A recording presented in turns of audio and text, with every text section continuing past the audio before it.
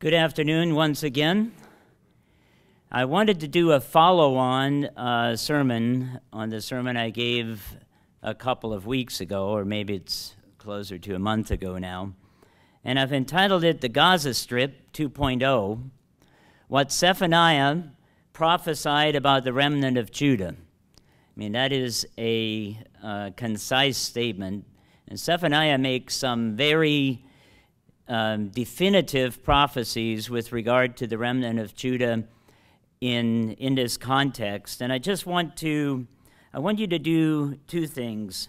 One, um, we live in a period of time, and if you've been following Darris McNeely's commentary, um, the world is not going to be the same geopolitically after uh, this war that is continuing again after the short ceasefire. It's going to change. The outcome uh, in the near term may not be, we may not know exactly what it looks like, what it will look like, but it'll change things. And number two, and this is the more important point, as we go through this, I'm, I'm going to try to put this into a context, a framework in Scripture that you can have confidence in because there will be a lot of deception and confusion and noise and people um, pontificating about end time events and the Lord told me this and the Lord told me that. So the second thing I want, uh, I hope that we can all go away with from this is that you can look into Scripture and at least we have a contextual framework in which we can place some of these things so that we don't need to be dismayed or terrified by the terrifying events that are rocking our world. And we've not seen anything yet. Let me repeat that. We have not seen anything yet as terrible as the situation is in Gaza and in Israel, and my brother Dan is here. Last evening he was at our house and shared the pictures of their trip to Israel and actually had a couple photos of rockets stri- going through the air and also a damaged home. So those things are earth shattering and um, will change the world in ways that we don't maybe fully comprehend. But we've not, as we will see in some of the scriptures we will look at, we've not seen anything yet. We live in a lap of luxury and complain about all kinds of inconsequential things. You know, isn't that amazing? You know, we can, oh, yeah, I mean, the, you know, when, when, when I lived in Germany, I, this has been a long time ago, but we we would uh, joke about sitting at a bar complaining about how terrible the world is. And then everybody goes home in a Mercedes. You know, you have to understand a Mercedes in Germany is kind of like a Ford here. You know, it's what, what everybody drives. Because you don't have anything really justifiable to complain about, so you, you know, complain about not having the same, dare I mention this, the same quality of shoe as you know some of our government servants. I, want to make sure we we you know that I get equal time here, Tim. Okay. Last week he had the bully pulpit. This week I have more of it. So, but I mean seriously, um, we we really live in unprecedented in an unprecedented lap of luxury. It's never, it's never been this nice before. So let's take a look at what has been happening in Gaza.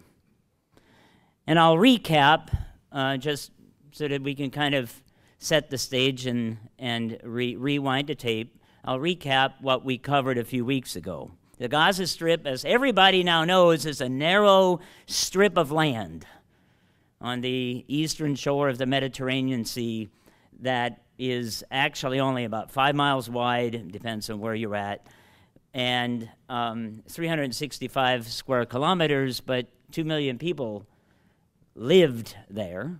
Um, Many have been now crowded into the southern part of Gaza, and many have died.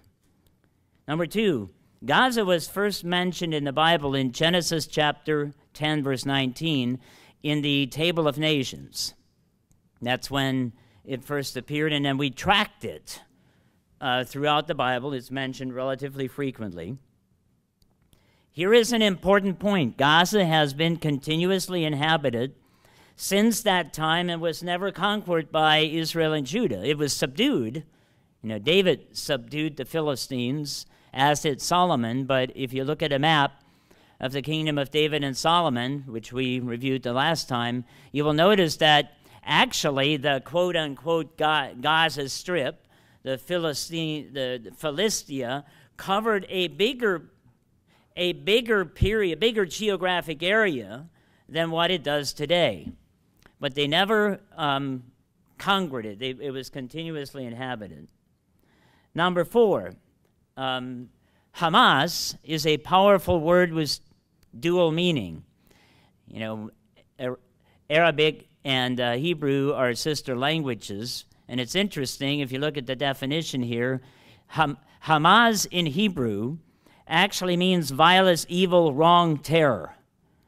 So when when a Hebrew speaking Israeli hears the word Hamas, I mean, while Hamas, H A M A S, is an acronym for a terrorist organization, to them, this is what they hear, right? The interesting th- part is that the Ara- uh, Arabic speaking individual thinks of it, it, you can see that the words are related, but there's a difference in meaning. Zeal fervor, fanaticism, and fire. It's kind of like the word patriotism, perhaps, that, that we use, use in English. So these, these four points are, I think, a, a good recap of what we covered the, the last time. So, just like to take a little bit of a review of the current situation. And we'll look at some maps and and, and what has occurred and, and, and the status of things. Um, you know, a lot of firepower power has been unleashed. So here, here you have a, a map of Gaza, just it shows the perimeter. You see that back in the back? Jacob says yes. Okay. So you see the perimeter. I mean, they've secured it and the next map will show how Israel has literally cut the, the strip in two um, in order to um, conquer and control the area. So you have a, um, a red line, which is what we've historically called no man's land. It's no go, don't go there. And a high risk area. Um, and then you see the, the um, the darker gray, my my cursor does not work up there on the screen, but if you if you see the darker gray areas, that's where they have refugee camps. So what's now happening is millions of people are literally being pushed into very constricted areas. And the other the other statistic that we um, should be aware of the fact that of the 2 million people, in very approximate terms, about half of them are under age 18. So, I mean, you can um, imagine the, um, the humanitarian situation that has developed here, and a lot of people are asking. I saw a, an interview between Jordan Peterson and a, British news commentator and the question was asked, you know, he, he said, I'm, I'm having um, a real moral dilemma about this war, I mean, and all that. And, and Peterson, I, uh, being a psychologist, answered, I, I thought it's interesting uh, how he answered it. He said, well, he doesn't find that surprising that it is a moral dilemma because um, war, when everything else fails in conflict and you are not able to resolve it, um, morally, then you end up in war. So, by definition, war is immoral. Um, and I think that's something that has been hard for people to accept. I mean, they, they declared war. And when you go to war, people get killed, a lot of people, and a lot of innocent people get killed. That is simply a consequence of not having solved the problems in a better way. So we have a situation, I mean, you can you see all kinds of heartbreaking pictures of little kids and babies uh, being hurt or even and, and killed uh, because they find themselves in the, in the crossfire. And, um, you know, that does raise the question, then why? Well, there is there is an answer to that question, an ultimate answer that we'll get to here in a few minutes. So here is another map of the um, current situation, and the pink is where uh, the Palestinians still in large part occupy. The blue is where the Israelis are at, and if we zoom in here a little bit closer, you'll notice that what they did is they came in from the north and then they punctured through in the center and went all the way to the sea. And there, where you see Gaza City, I mean, they've actually established a beachhead uh, to be able to resupply their soldiers uh, with equipment and munitions. So, in in um, cutting through the center, they've been able to establish also um, supply routes uh, for um, hum humanitarian aid to come in and also for uh, people to exit.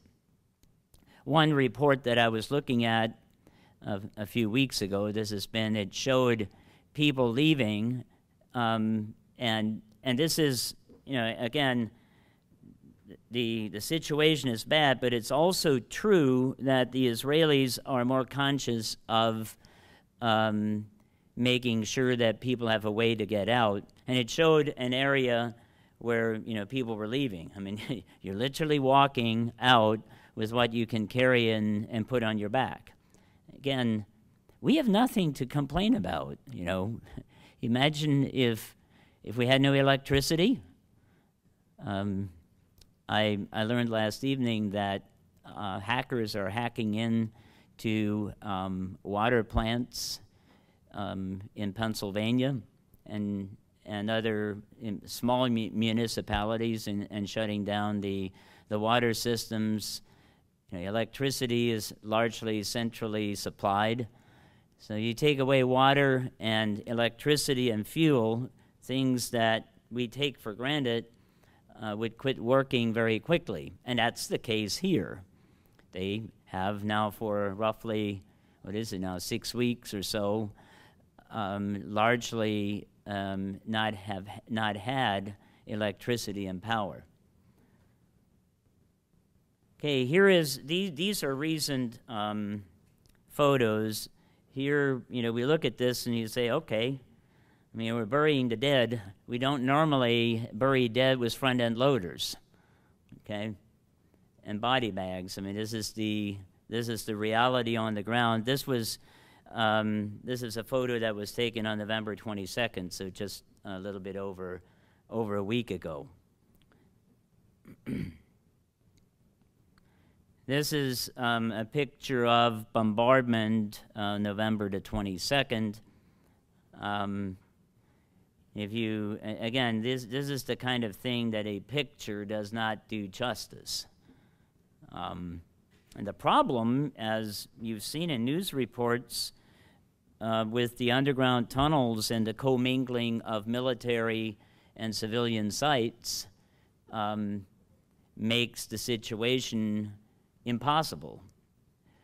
Israel has stated unequivocally that Hamas militants are walking dead men and that they will not stop until they are all dead and they're going to hunt them out um, in other countries as well.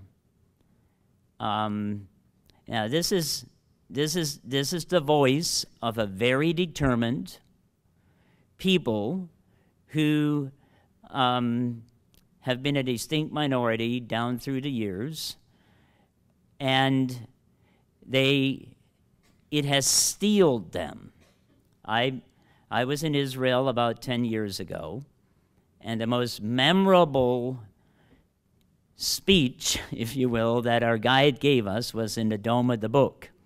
I mean, this was an Israeli educated in, in at Boston University, and then subsequently took another eight years of training to be a guide in Israel. And at the Dome of the Book, the Dome of the Book is where they have a nuclear bomb proof vault in which resides the Dead Sea Scrolls, including the scroll of Isaiah because they determined that they are going to build a vault that will survive a nuclear blast so that there would always be evidence of the, their legitimacy to this land. And that's, that's the, you know, the age-old question. And, and the question is one of God promising Abraham and his descendants to have those lands and it talks about from the from Egypt to the river Euphrates. That's what was ceded to the descendants of um, Abraham, and, and they've never um, really occupied that much. But the Jews realized, and I have to get back to what this individual said in the Dome of the Book, I, I remember him, and he was he was very articulate, and he, he's wearing a microphone, and you know we have a, a group, and we listen to him. He was he was really interesting to listen to because, unlike many guides, you know, where you can tell they've they've got a script, and they they they just go on, on their script, and if you ask them one question and you kind of get them off their script, um, they they get you know nervous and they can't really answer. This guy, you ask him a question and then he really got into detail. I mean, he just he just really knew his stuff. Um, so very articulate individual, but in the dome of the book, he got passionate. And he talked about his parents and grandparents and the Holocaust, and he said, Never, ever again. We will die, every one of us, before we will allow to happen what will what happened to us back in the in the previous century. And you could tell the determination. And the, the other thing that's happening right now is Jewish people from all over the world are coming back to Israel in droves. Because there are two reasons. One is to help defend Israel, but two, they feel safer in Israel at war than they do in the country where they are coming from. And, and, you know, there's some statistics. There are about 20 million Jews alive in this world today, and about 2 billion uh, adherents of, uh, of uh, Islam. So when, when you look at that proportion, it is not. It shouldn't surprise us the the the pro Israel, pro Palestinian demonstrations that we have seen um, and, and that will, will continue to be the case. this is um, a photo of uh, Palestinians fleeing Gaza on Friday, November the 24th. I mean, that's just a little bit over a week ago. Um, Israeli tanks, um, you know, that area um, only weeks before would have looked very different. You know, when you start um, unleashing munitions of the sort that come out of those barrels in those tanks, um, it it unleashes destruction. And these are still this is all conventional warfare. I mean, look at this. That's Gaza City on November 29th.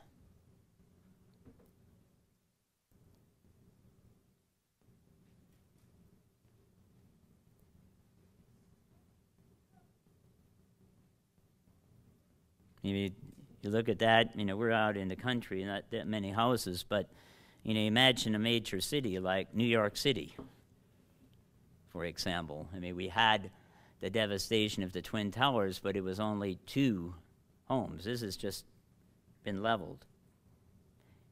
And, you know, again, you, you can, if, if, if you want to make a moral argument, war is immoral. So it's kind of hard to make a moral argument. But if the objective is to root out every single Hamas militant, this is the, what, what, this is what it's going to look like afterwards. That's just the, that's the consequence of that objective. The question is why? Well, you know, there are many reasons why, but here's the, in the grand scheme of things, I believe it comes down to this. God prophesied that certain things are going to be. And the time for those things to be apparently have come. We'll, we'll look at a timeline here in a minute. So you can you can cast blame and assign this and do that, but at the end of the day, uh, it's about God's word being proven to be accurate. And when God said to the Israelites that Canaan had become a land that was vomiting out its own inhabitants for the abominations that they were doing, and the Israelites never carried out that promise then, and it has dogged them uh, all, all this time. But at the end, what God said would happen is going to happen, and we, we see that now. Here's a contrasting. This is Gaza Beach uh, in August of 2022. Remember, I when, when I put that map up, and showed the blue area of Gaza City and said, Israel has established a beachhead. Well, here's what it looks in November of 2023. I mean, if, you know, if I flip back and forth here, see the building back there with the red roof? Okay? Got everybody out on the beach. This is what it looks like right now. right there in the middle is the building with the red roof. They have armored D9s. Now, I, you know, um, my son Daniel has a D6. You know, I kind of pay to run it. You know, there's there's something masculine about getting on top of a hunk of iron like that and you know, after arguing with automotive customers all week, you drive up against a tree or a rock and mm, there's just some real satisfaction to see it move. But this, what you see sitting there uh, in the bottom of the picture is a D9. It's a much bigger machine. You see, um, as we'll see in the prophecies of Zephaniah, the moonscape, as some political and news commentators of Gaza City that we're seeing right now, it, it won't take long for a D9 to turn that into pasture land. You just bulldoze everything, and that's what's been done. Uh, Dan, uh, Dan, do you have your computer with you? It's too bad. I mean, he he showed us a number of pictures last evening where they had to remove 30 to 50 feet of um, dirt in order to get down to the time of Christ. It had been bulldozed over that many times. You, know, you just you you have a siege, you destroy the buildings and you pile everything on top and you know that just layer upon layer and it just keeps happening. It is archaeological evidence that man is incapable of ruling themselves. That's just what it is. Okay i'd like to um, spend a little bit of time here on an infographic um, of the end time events because when we walk out of here today, I want, hopefully, we can say, all right, there's, there's a lot of things going on, but you know the Bible does provide a framework that we can, with I think a, a, high level of confidence, get at least an idea of here's about where we fit right now, and here's where we're going. And again, you know, we, we've talked about these things for decades. And, and I see things uh, filling out in ways that, at least in my lifetime, we've not seen. And it's, it appears that things are accelerating. At the same time, you know, in God's overall scheme of things, you know, a decade or two here or there um, is not much time. So here's a graphic, and I know, um, by the way, I'll, I'll, make a PDF of this. Um, and I've borrowed uh, this graphic and remade it a little bit uh, from, from our church website. So this is information you can get with additional detail. It's not, it's not new. I'm not bringing you any new truth today. But I do hope that we can, can put it in context. So you have starting from left to right, you have the first four seals, and then you know we we go from red to real dark, and and there's um I mean I don't know who designed this, but you know designers um, subliminally put things in. It goes from red to really dark, and the darkest part of it is the seven last plagues. You know that is just I mean it's a short period of time that is just ominous. It's a really dark time. We'll look into a little bit more detail. So you get, you start with the first four seals, the fifth seal, sixth seal, seventh seal, and then in the seventh seal you have the the, the seven trumpets and the seven last plagues. Um, so if you just if you just think of this timeline and and uh, there's there's one thing that I want you to really um, look at and see, and it's over in the purple area, and it's called the day of the Lord. So if, if and up and the line up at the top, you can't see this, but it says um, the Great Tribulation. It's labeled here three and a half years of great tribulation. Embedded in the at the end of the three and a half years, or included in the three and a half years at the end, is a one year period. And we know that um, for a number of reasons. You've got days that are enumerated in Revelation and also in the, uh, by the prophet Daniel. Um, and I have another graphic which I, I, might have been helpful to also show that. I just don't, I, I didn't do that.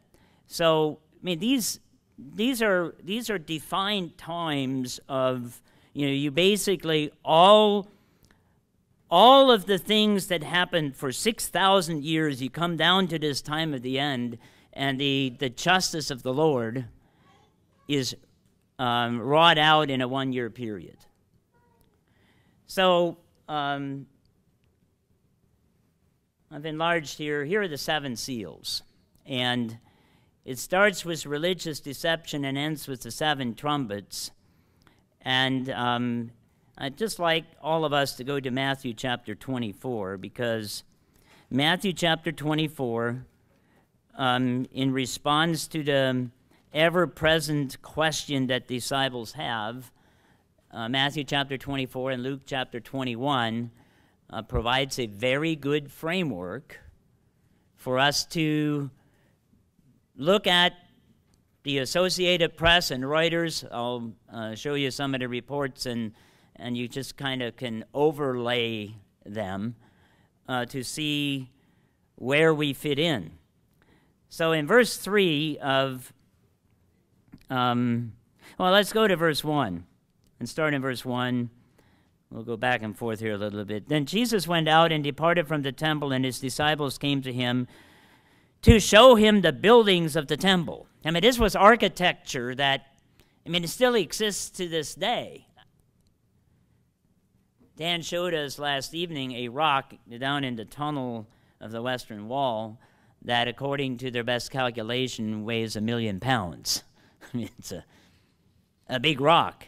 And, you know, I can't help but think, okay, fine, all right, I mean, I get it. It's a big rock, it weighs a lot. It, it, it had uh, carved into the side places where, I mean, you could hook uh, material handling implements to it. But I don't know of a crane today that can pick up a million pounds. There, there may be one, but you, know, you just ask, you know, how in the world did they, how did they do that back then? Um, so they were, they, they went to the Mount of Olives here, and they were, they, they were taught, I mean, Herod the Great was a big builder, and the, the disciples were impressed, understandably so. I mean, you, these big buildings, you know, to this day, people build towers and it is architecture that we marvel over, and this is what they were doing. And he the disciples came to show him the buildings of the temple, and Jesus said to them, Do you not see all these things? Assuredly I say to you, not one stone shall be left here upon another that shall not be thrown down. Now they were the, they were here, they were still on the Temple Mount, and there's a pile of rocks.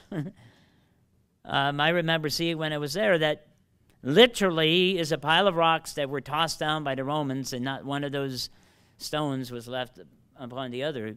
So you see that that, that was fulfilled. Verse 3 Now, as he sat on the Mount of Olives, his disciples came to him privately, saying, I mean, they always wanted to be in on, on the scoop, you know. Tell us. They came privately, you know. Maybe if we ask him just, you know, kind of man to man, you know, he'll, he'll, he'll tell us the answer to this burning question. Tell us, when will these things be, and what will be the sign of your coming and of the end of the age? And he said, Come on over here. We're going to sit under this olive tree. And if you don't tell anyone else, I'm going to tell you. No, that's not what he said at all. He ignored their question and said, Take heed that no one deceives you. And that should ring true to us today because the, the implements of deception have the capacity to be amplified like never before. Dave and I were just talking in the back, you know, this is being webcast as we talk, so people that are out there can listen and we record it. And we're doing it with consumer electronics. You know, we have what are called influencers that have followings from, you know, a couple tens of thousands to millions that basically produce their programming with a smartphone and maybe a laptop. So when Jesus said back then, take heed that you are not deceived, um, it's only, it's still the same, only more so. and, and I'm I am fascinated, actually, at what people do with conspiracy.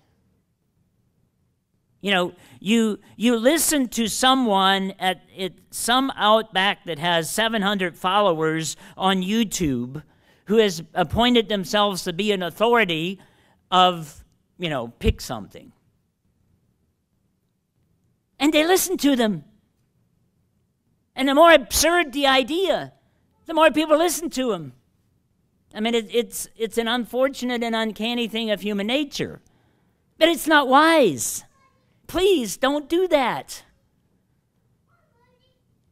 Go, if, if you want advice on something, go to someone you know that, has, that you know in the flesh and blood that has already done what you want to do and take advice from a person like that. Because here's what, here's what we, we, we don't get was the deception. Every time you click, the cash register rings on the other side. Every time you click, the cash register rings. Do not be deceived, for many will come in my name and say, I am the Christ. And before they say that is, the Lord told me. The Lord spoke to me this morning. Now, you know, I, I think we're maybe on the opposite end of that spectrum and, and, and, and are maybe hypersensitive to something like that. I believe God inspires us. Hopefully, me sometimes, okay? You know, it, it's, you know, I didn't have a vision this morning, okay? Uh, but when you say the Lord spoke to me, I'm just, when you say, when someone says that, you're taking, you are now speaking for the Lord.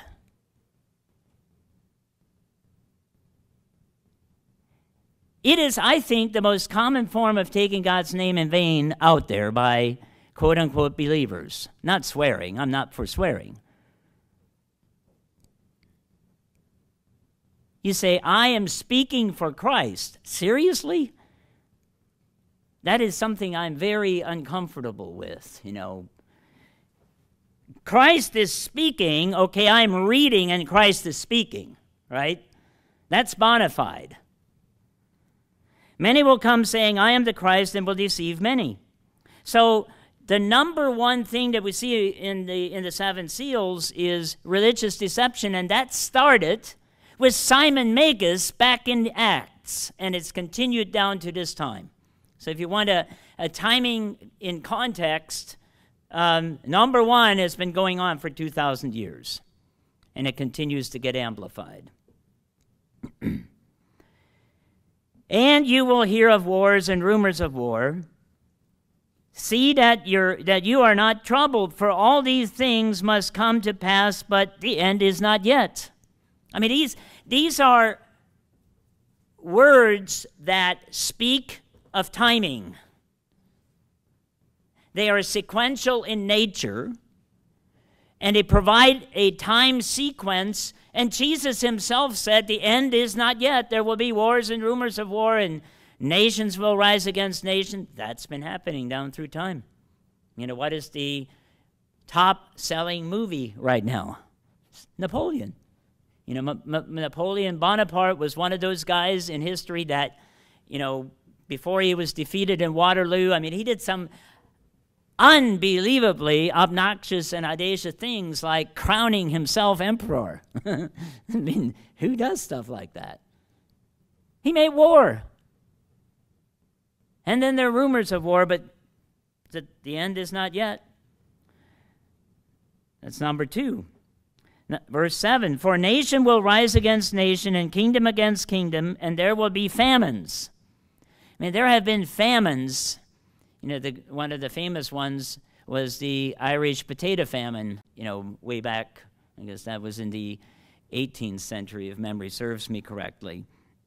We have, we have, not, we have not seen that today because of mechanized farming, because of uh, fertilization programs and um, pesticides and, and all of those things, and also um, developing through um, breeding and genetics plants that have um, a resistance to the plagues and stuff that have caused famines in the past. But, but, there's, but you can't trick nature.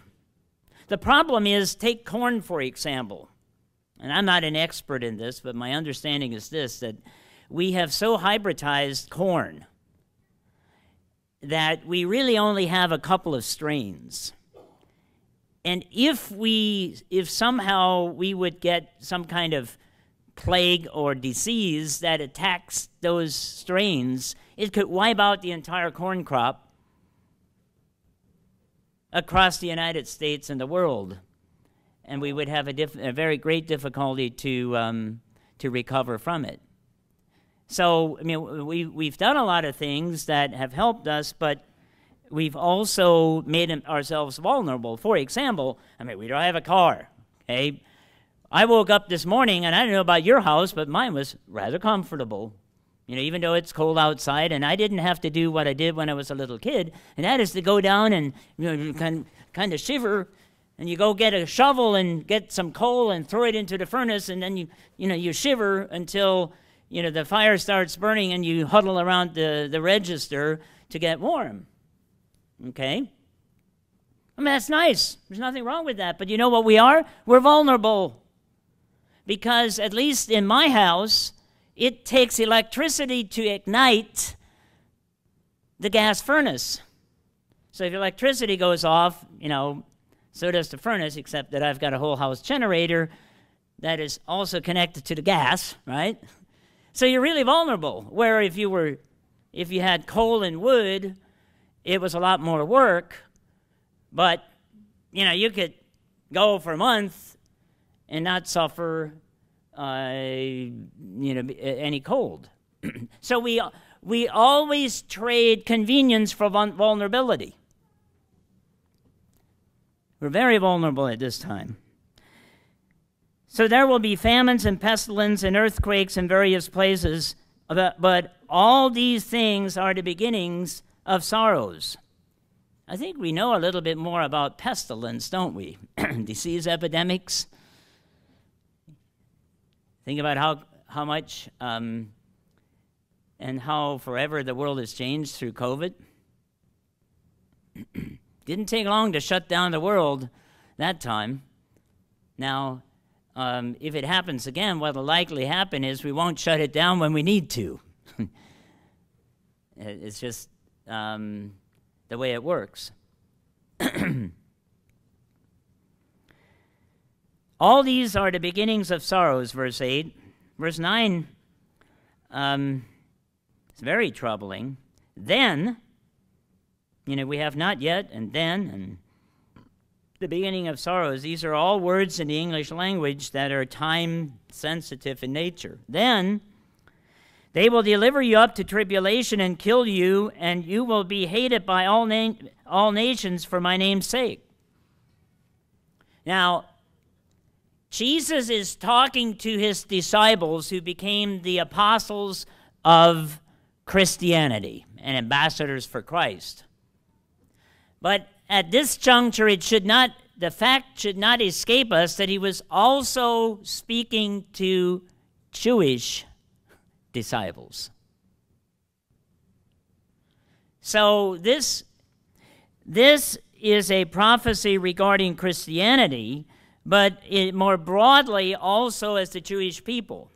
It says here that you will be hated by all nations for my name's sake. You will be. Now, of course, Judah has rejected Christ. I mean, it's like I said earlier, it's more precisely to his, his followers, but more broadly, it talks about the, the, the, um, the plight of the, the Jewish people. And then many will be offended and be, will betray one another and will hate one another. Then many false prophets will rise up and deceive many, and because lawlessness will abound and the love of many, the love of many will grow cold. But he who endures to the end shall be saved. That's it's not how you start the race, it's how you finish it. And this gospel of the kingdom will be preached to all nations as a witness, and then shall the end come. It'll get preached whether we do it or not. I can say that confidently because it says it will happen, and then the end will come.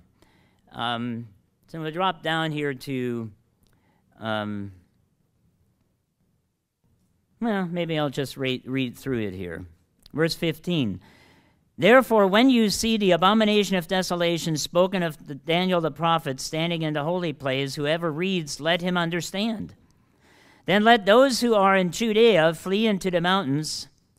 Um, this presupposes that the sacrificial system will be reestablished in Jerusalem prior to these events happening because you know you can't have an abomination of desolation in a holy place without the holy place being there.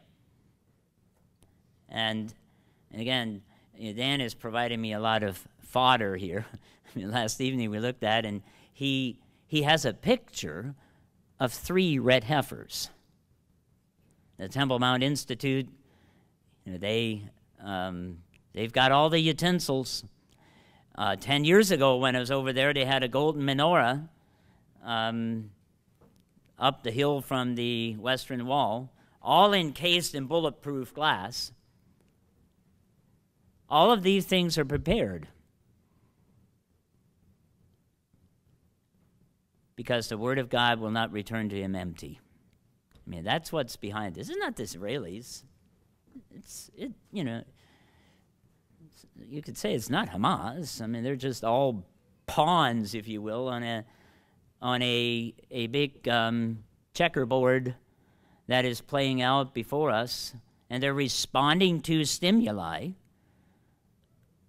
and over responding in some cases, and you know if you look at ancient history, God has worked through peoples to punish his people down through time the Assyrians and then the Babylonians, and even Pharaoh you know, and Pharaoh hardened his heart. And he did um, amazing things. And in the end, it was to uh, glorify the name of the Lord. Verse 21 For then there will be great tribulation. And I've always, I mean, let's just let these words sink in. For then there will be great tribulation. Fair enough. I mean, that, that should suffice. Great tribulation. I mean, I can assure you that whatever we've seen and experienced, or whatever the Palestinians have experienced, it's not a great tribulation. Might be tribulation, but not great.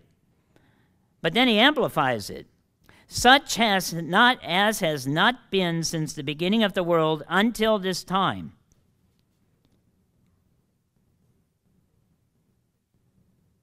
That's great tribulation.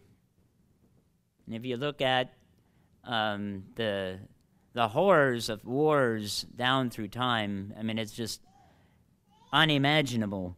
Nor shall ever be. And unless these those days were shortened, no flesh would be saved, but for the elect's sake those days shall be shortened. So the the probability of extinction is acknowledged by Jesus Christ here um, in a very explicit way.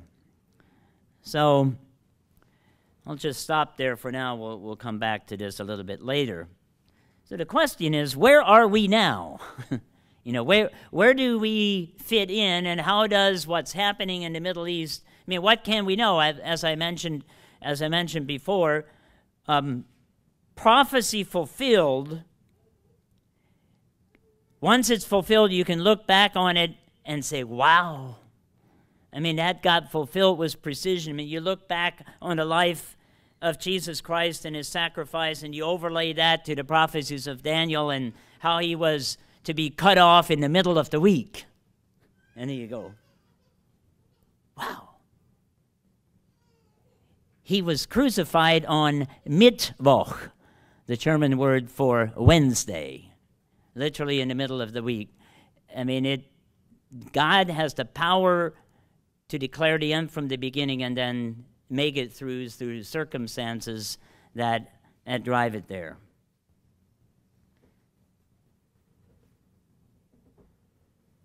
You know, if you if you look at this, we're right there between four and five. If we go back up to um, the timeline, you know, between four and five, have been there for quite a while. We're not, the Great Tribulation hasn't started.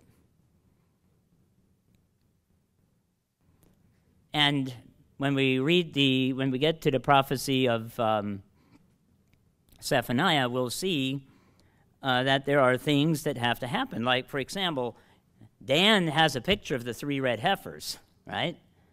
But before the great and dreadful day of the Lord, before Jesus returned, those heifers or one of their descendants has to get offered on an altar. So those are things that, that we need to follow, that, that we should be looking at. I mean, not being crazy about it, but to ignore it isn't correct either. It, it seems like we tend to extremes. I mean, after either you fanatically look at prophecy and ignore, I mean, I, I got a letter from a person like that this week. Um, that my secretary was, she opens my mail and she read this thing. And she said, John, this guy's crazy. I said, I know. I know. But he's fanatical about stuff like this. At the end of the day, he wanted money. and he lined up a whole bunch of scriptures designed to make me feel guilty for not giving him a handout. And a big one, too. He told me how many thousands he needed. I'll give him some money. It's the right thing to do. There's, there's some history there. I know the man. But, you know, we can we just be balanced? The answer is no. We're all weird, okay? except you and I, and sometimes I'm not sure about you.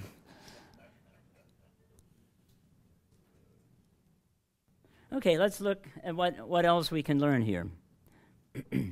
so we have the seven trumpets. You know, we just go over in the scale. Look, look at what the day of the Lord looks like. Destruction of vegetation. That's in Revelation chapter 8. De- devastation of the oceans. You want to talk about climate change and environment? I mean, right now, we have the cleanest environment we've ever had. That's, you can demonstrate that with science. We have the cleanest water, we have the cleanest this we ever, ever have had. If you don't believe me, go talk to somebody that remembers what the uh, river used to look like. The what, what, I'm trying to remember the name of the river that flows into Cleveland. Cuyahoga River, thank you. you could light it on fire, fire on a Saturday night and have a party, right? Can't do that anymore. But the devastation of oceans and rivers that are filled with blood and all kinds of other pollutants, and the sun and the moon and the stars darkened. I mean, this is all happening in the space of a year. I mean, that will give climate activists legitimacy to speak out. Verse 5 tortuous human afflictions, enormous military destruction.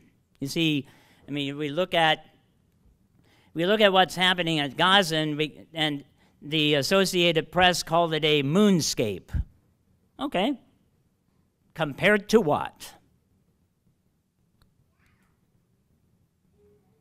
And then finally, the seven last plagues. So here are some scriptures. Um, I want you to kind of latch on to that term, the day of the Lord, because it's, it speaks about a period of time and timing. Here, here are just a couple, I'm just going to quote a couple of scriptures. I mean, this is something that maybe we haven't spoken on as much as we should have over the course of the last number of years, but okay, we have a reason to do it now. Notice in Amos chapter 5, verse 18 Woe to you who desire the day of the Lord. I know people like that. You know, you sit in an armchair and you draw things out about the end time events and the day of the Lord, and you got it all figured out, and you count, you know, when it's all going to start. And, and okay, that, that's fine. I, it, it's academic. But, but Amos says, Woe to those who desire the day of the Lord. For what good is the day of the Lord to you? It will be darkness and not light. It will be as though a man fled from a lion and ended up with a bear or as though he went into the house, leaned on his hand, and a servant bit him. Is not the day of the Lord darkness and not light? Is it not very dark with no brightness in it? The point is that while it's important to do academic research and study on this topic, desiring it is a completely different matter because then it will no longer be an academic exercise it will be a day worse than what we're seeing in Gaza that will, fit, um, that will affect their fa family, friends, and grandchildren.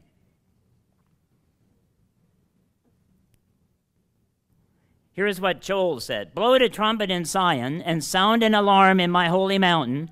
Let all the inhabitants of the land tremble, for the day of the Lord is coming, for it is at hand. And what you, what you find in the prophecy is a consistent theme. Sun and moon will be darkened. A day of darkness and gloominess, a day of clouds and thick darkness, like, like the morning clouds spread over the mountains. A people come great and strong, the like of whom has never been.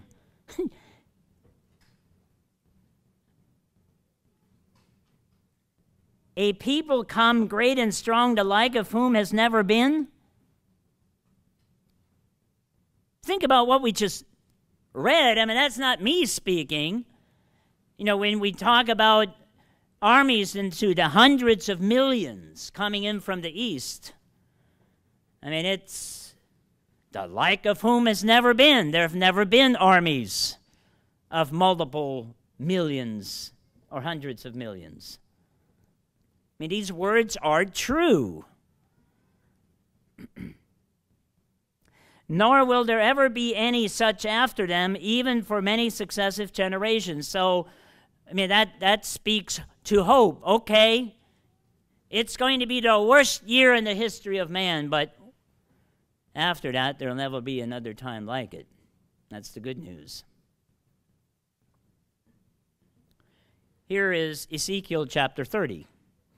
For the day is near, even the day of the Lord is near. It will be a day of clouds, the time of the Gentiles. Okay, again, we, we go back and there are a specific sorry a specific number of days enumerated in the bible that is for the gentiles. The sword shall come upon egypt and great anguish shall be in ethiopia. When the slain fall in egypt and take they take away her wealth and her foundations are broken down. So while you know you, you look at what's happening in in in in gaza right now and people you know Whipple. It was, it was Piers Morgan and, and Dr. Peterson that had the, the conversation that I mentioned earlier. And he said, you know, Dr. Peterson, you know, you're a psychologist. You know, I, I, I find that I have a moral dilemma. Fair enough, I, I, I get it. And I think Dr. Peterson answered very well. I mean, war is immoral, so you shouldn't be surprised that you have a dilemma. But in the end, at the end of the day, all nations,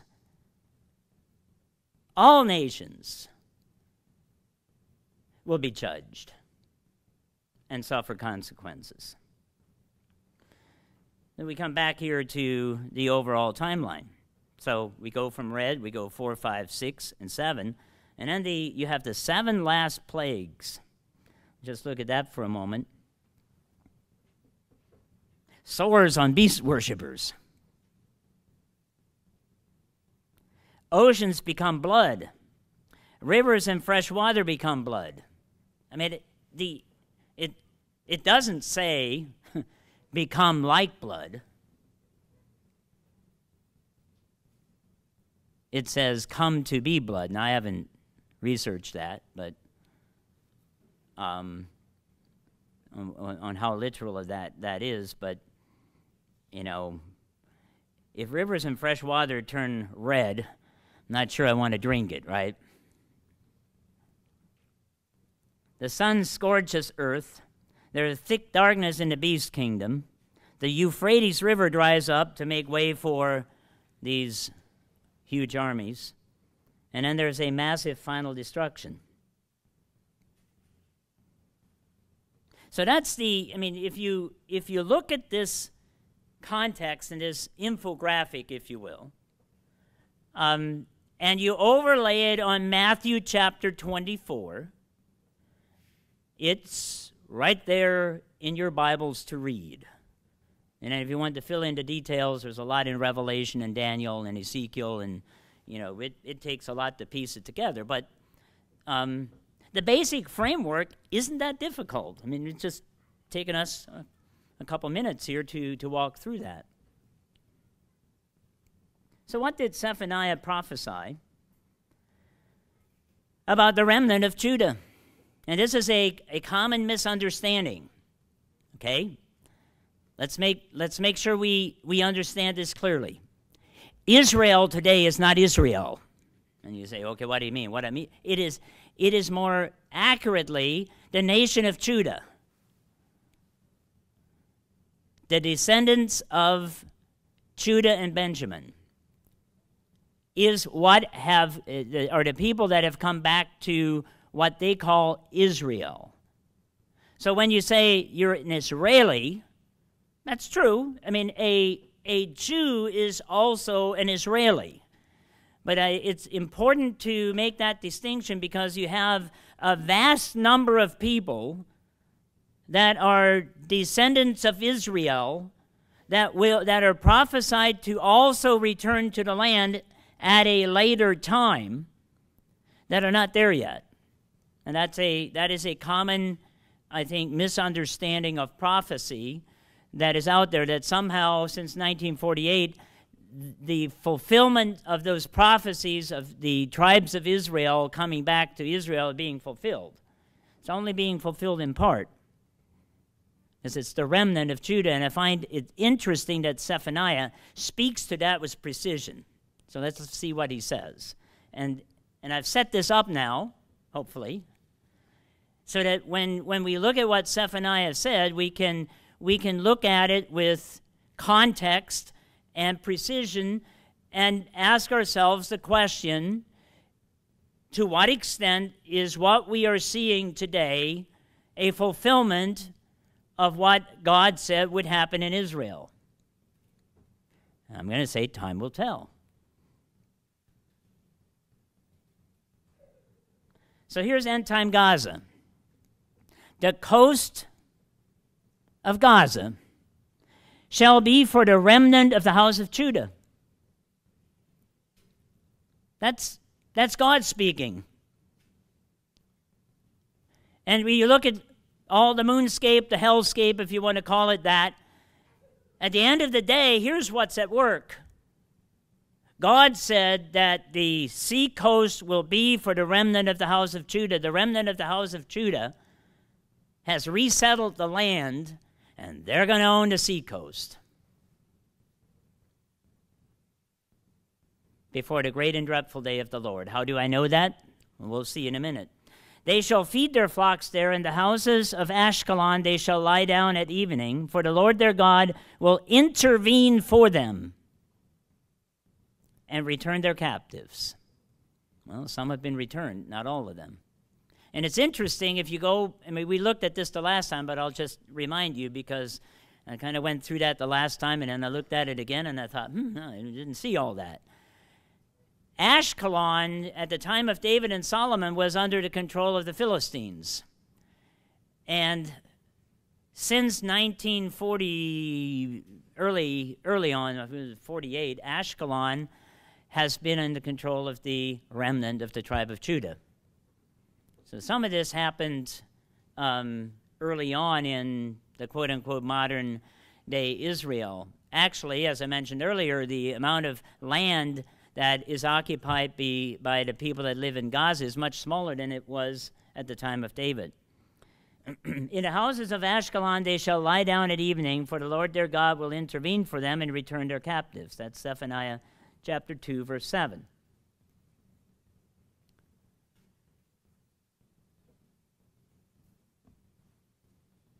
For Gaza shall be forsaken and Ashkelon desolate. They shall drive out Ashdod at noonday, and Ekron shall be uprooted. Woe to the inhabitants of the seacoast, the nation of the Cherethites. The word of the Lord is against you, O Canaan, land of the Philistines. I will destroy you, so there shall be no inhabitant.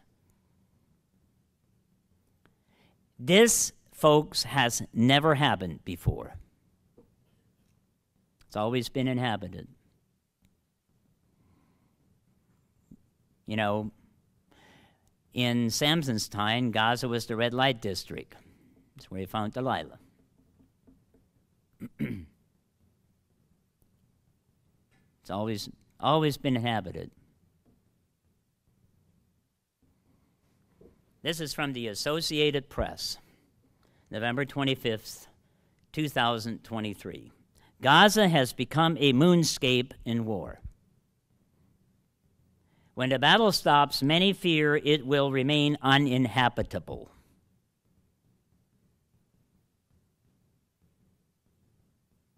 That's not me. That's Isabel DeBre, writing for the Associated Press. We don't think Gaza will be inhabitable after they get done.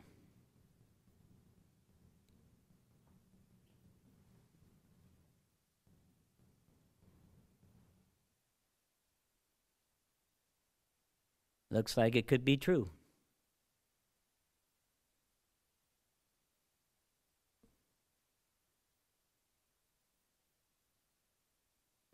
Associated Press.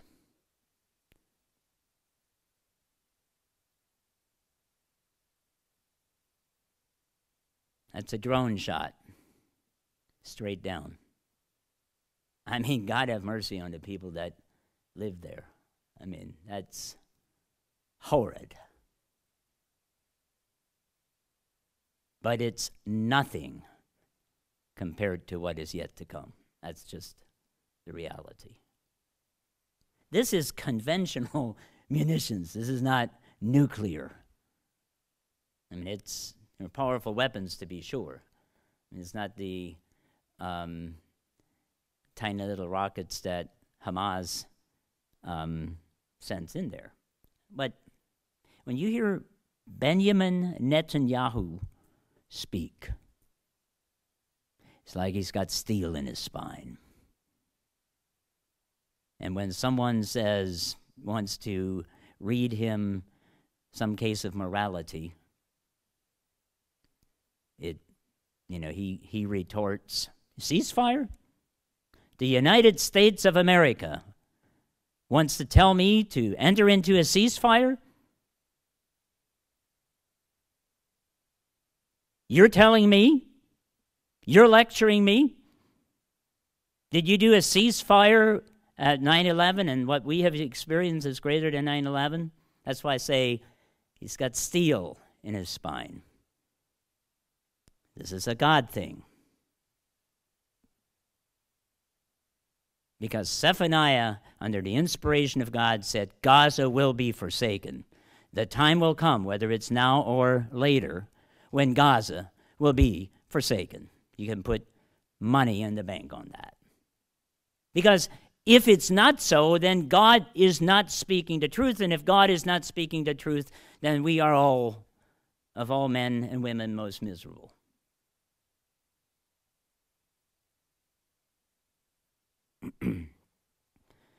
so, where does all this all fall in the sequence of end time events? And we read, For Gaza shall be forsaken. In Zephaniah, he identifies with some precision. Gather yourselves together, yes, gather together, O undesirable nation, before the decree is issued or the day passes like chaff, before, before the Lord's fierce anger comes upon you, before the day of the Lord's anger comes upon you, these things, this is verse 1 and 2. Gaza will be forsaken before the day of the Lord, says Zephaniah.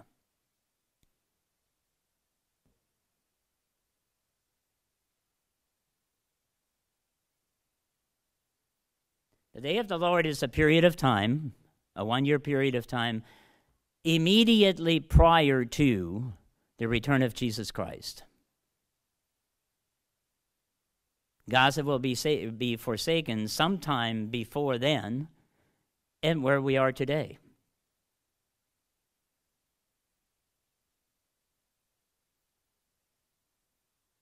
So what happens then? You know, so you you say, okay, before the day of the Lord, Gaza is forsaken. So what happens then between I mean if you look at the if you look at the blue arrow there, there's some period of time and, and when you look at what is supposed to happen, you recognize that some period of time has to pass in order for those things to happen that are prophesied to occur. I mean, it can't just happen in two or three days or a week.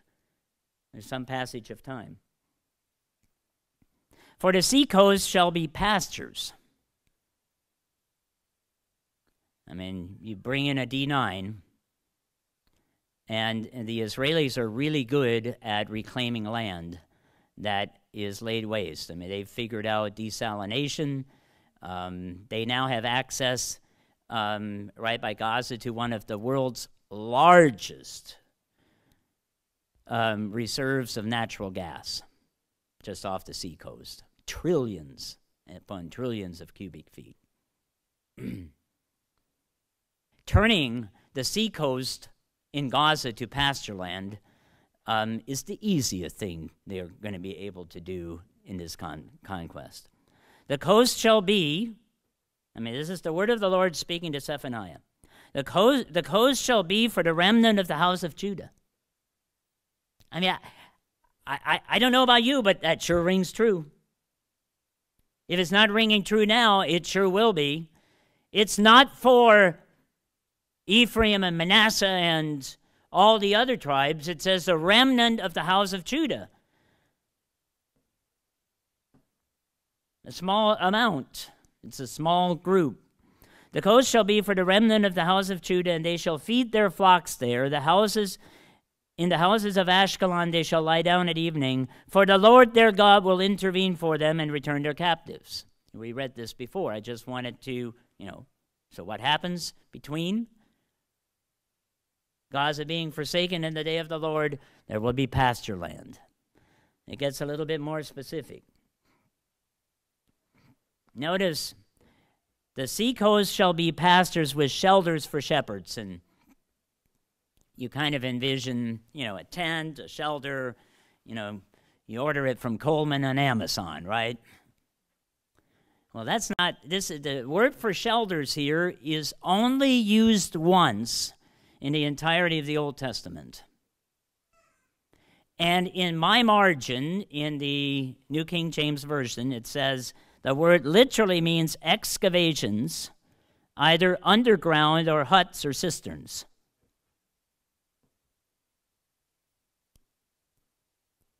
Think of all the tunnels and the underground uh, things that they have un- uncovered. I mean, this, this, this speaks with precision and truth that's unbelievable.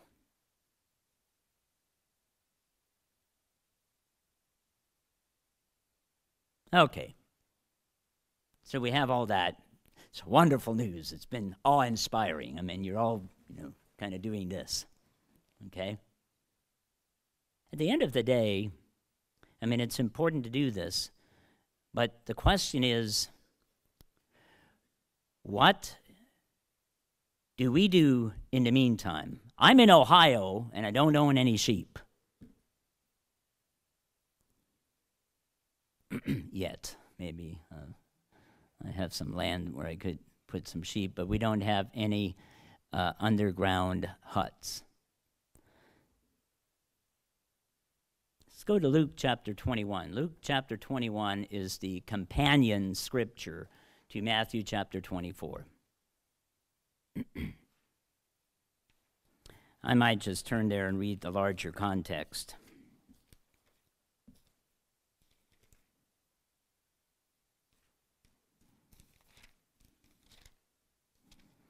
Matthew chapter, uh, sorry, Luke chapter 21.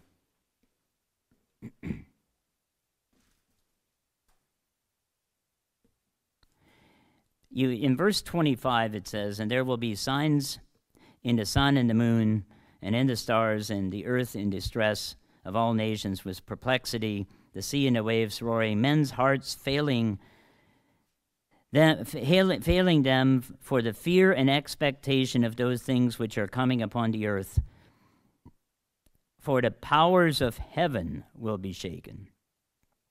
Then they will see the Son of Man coming in the clouds with power and great glory. And then it speaks to what we should be doing. Now, when these things begin to happen, look up. And that seems counterintuitive. I mean, in, in times of distress, we tend to look down. But we're to look up. And lift your heads because your redemption draws near. Verse 36 Watch therefore and pray always that you may be counted worthy to escape all these things that will come to pass and to stand before the Son of Man.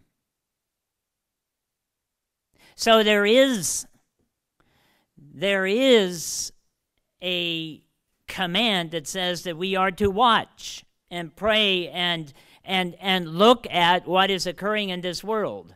We should not be ignorant and and we're not. I mean, I think we have a a pretty good framework from the scripture. We've only gone through kind of the, the rough framework today. There's a lot more detail. You need to know that so that we are not deceived, number one. And number two, not shook up by the events of the day, which it's easy to do. And notice it says we're to look up for the redemption draws near. So I'd just like to quote a couple of scriptures that are not in the in the presentation. Let's go to 1 Corinthians chapter 15.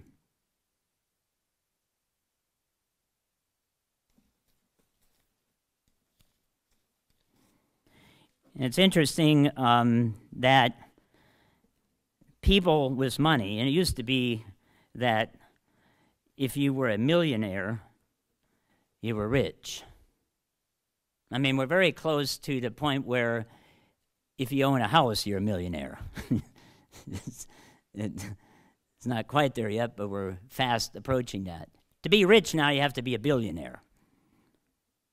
And uh, they're investing a lot of money into what God wants to give to us. verse 50 of, verse, of, of, of chapter 15 Now, this I say, brethren, that flesh and blood cannot inherit the kingdom of God.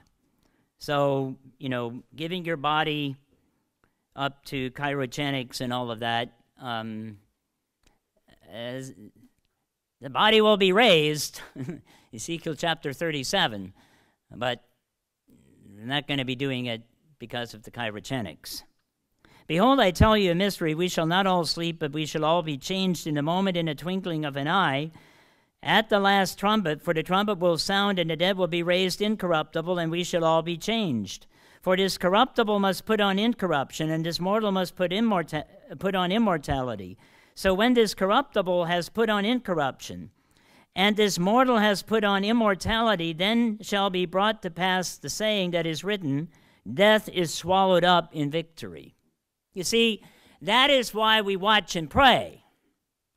That is why a great tribulation of such as the world has never seen before is worth it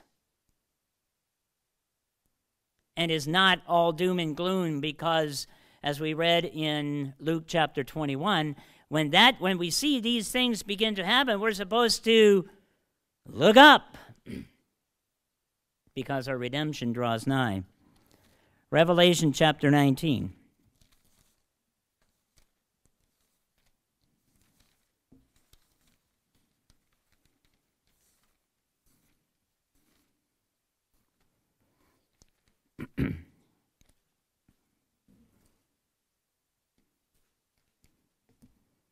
Verse 11 Then I saw heaven opened, and behold, a white horse and he who sat on him was called faithful and true, and in righteousness he judges and makes war. His eyes were like a flame of fire, and on his head were many crowns, and he had a name written that no one knew except himself. He was clothed with a robe dipped in blood, and his name was called the Word of God. I mean, John wrote about that in chapter 1. I mean, this is clearly referring to Jesus Christ, the Word. And the armies in heaven, clothed in fine linen, white and clean, followed him on white horses. That's those that were changed previously that we just read. You see, Jesus Christ does not come to the Mount of Olives and touch down alone.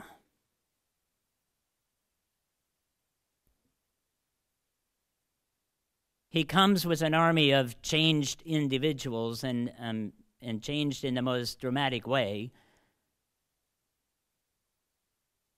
from mortality to immortality. I mean, this is an entirely different dimension of life than what we experience today. That's, you know, we can confuse terminology here. I'm going to say that's the first coming. We would generally identify it as the second coming, and it is, except um, in the context of what I'm about to read. So that is Jesus Christ coming. That is God coming to establish his kingdom on the earth in a very real sense the first time. Let's look at the second coming. This is probably where I get in trouble, as I've changed up terminology here just hopefully for, for effect.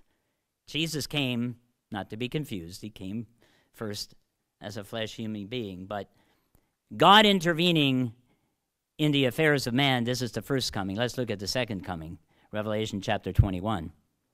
And I saw a new heaven and a new earth, for the first heaven and the first earth had passed away, and also there was no more sea. Then I, John, saw the holy city, New Jerusalem, coming down out of heaven from God, prepared as a bride adorned for her husband.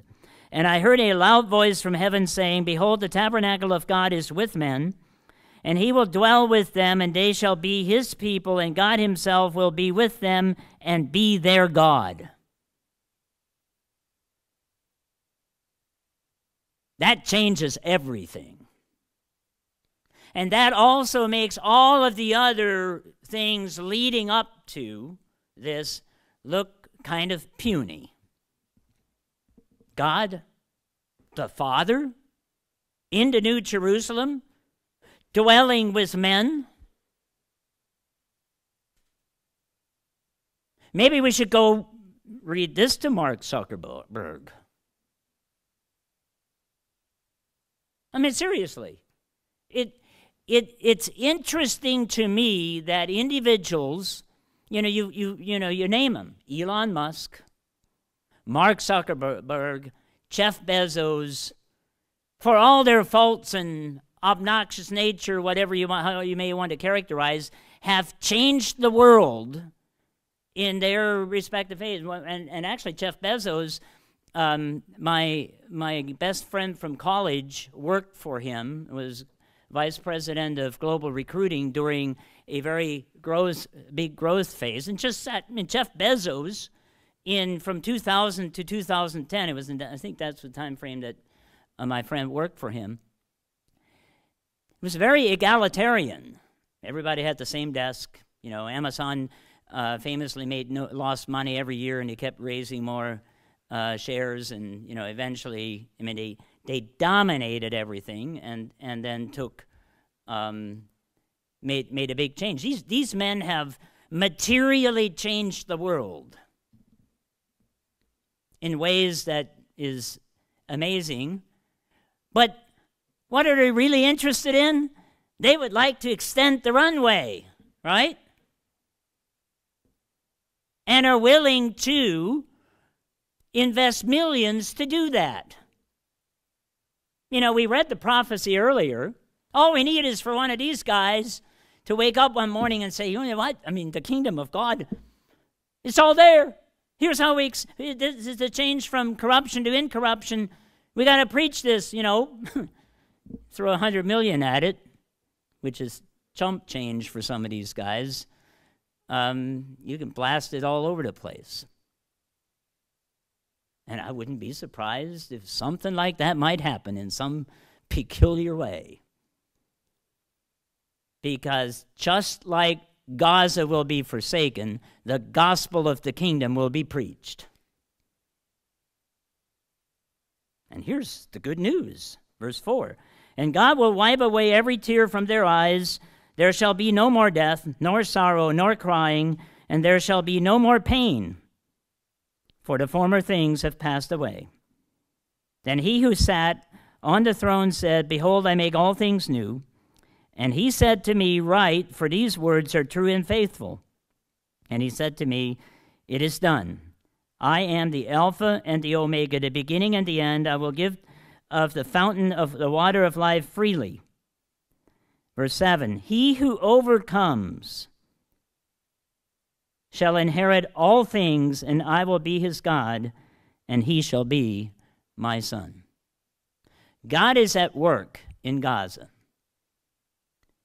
to make his plan a reality, and that plan extends to every human being because he so loved the world that he gave his only son. No father would normally do that. We live in dramatic times. Let's watch and pray and look up.